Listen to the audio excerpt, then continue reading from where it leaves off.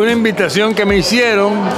Eh, me pareció que ese tipo de servicio a la comunidad es importantísimo y noté que en el grupo había mucha, mucha verdad, mucha, mucho auténtico deseo de colaborar, de, ayudar a personas que están enfrentándose a situaciones muy difíciles y si algo mm, hace sentir bien a las personas, y me incluyo, es sentirnos útiles.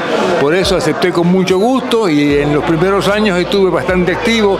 Luego pues ha habido compromisos que me han impedido continuar de lleno en, estas funciones, pero me hicieron otro llamado últimamente y con gusto aquí estoy para recalcar que tienen mi respaldo y también para expresar mi satisfacción porque siguen adelante firmemente con el propósito que tenían desde el principio, que es contribuir realmente al, echar adelante eh, estas, este, este, proyecto que incluye a tantas personas que han estado en desventaja y ellos ayudan mucho a que esas personas se, se encarrilen y reciban la ayuda necesaria. Los cuidadores son personas que me parece que tienen un valor extraordinario.